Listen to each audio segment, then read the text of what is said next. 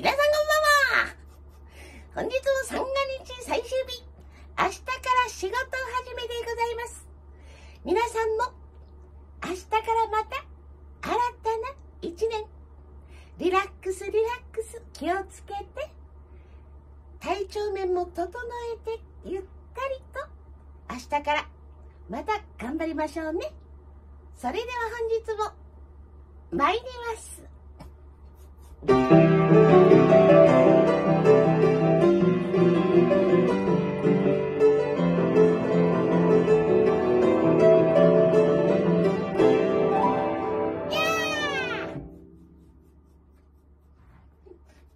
とちょうちょ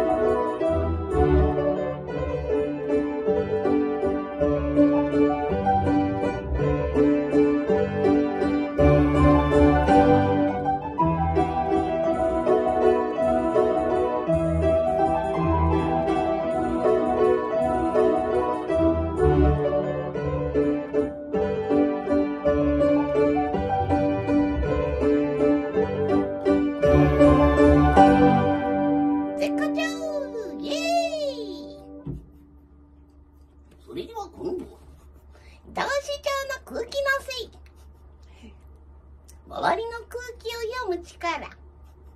先生も血管もあります。空気周りの空気状況をよく見て判断できるということはそれは素晴らしい。能力の持ち主だとも言えます。空気のせい途端調。